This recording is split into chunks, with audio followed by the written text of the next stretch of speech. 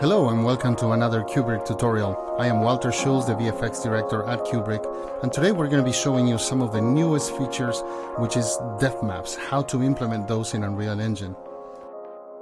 Once you have your scene created, your art generated from Cuebric, you have exported by now these depth maps, and we're going to be showing you how to apply them into your scene.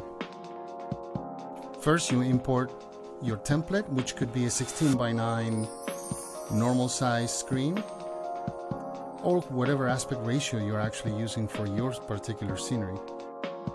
I switched to wireframe so you're able to see the tessellation of this particular object. We switch to the modeling area and we are going to be finding under the formers the displace. First thing you want to do is switch it to texture 2D map and then when we scroll down we're going to see that we are able to drag and drop our depth map right in there. I give it a tessellation of 100 to get started and see how that looks. And now we're going to be applying the tessellation itself into the depth.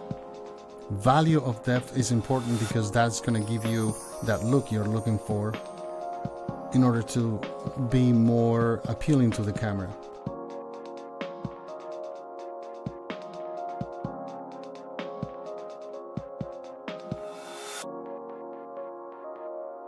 We're going to be saving your scene and make sure you create your sequence.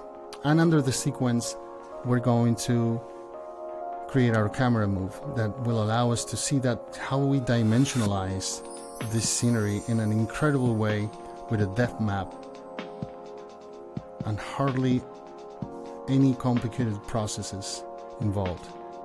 And that's really all there is to it. Uh, it's a very simple implementation. Thank you so much for joining us and please come back for the next tutorial.